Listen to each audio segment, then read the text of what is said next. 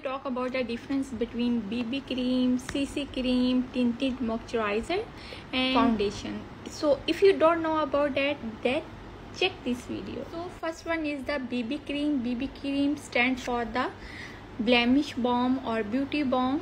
It's usually come into sheer to light coverage that's why it's a good option for summers in the daytime second thing is the cc cream. It stands for the color correcting cream. It's used for the medium to light coverage.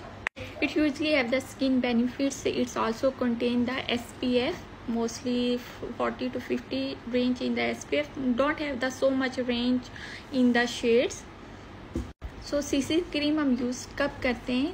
अगर आपकी skin पे blemishes हैं spots हैं उस उन चीज़ों को भी कवर करती है। So it's a best option for the medium coverage third one is the foundation foundation has a lots of colour range you can customize it according to your skin tone so many option in it like medium coverage low coverage high coverage and the last one is the tinted moisturizer. Base is moisturizer. It hydrate our skin and with some tint that give us the some coverage some glows and some balm on our skin so you can customize it according to your need. It has some skin benefit. You can make it your own self like in your face moisturizer you can put some drop of your um, bb cream or cc cream or foundation then mix it.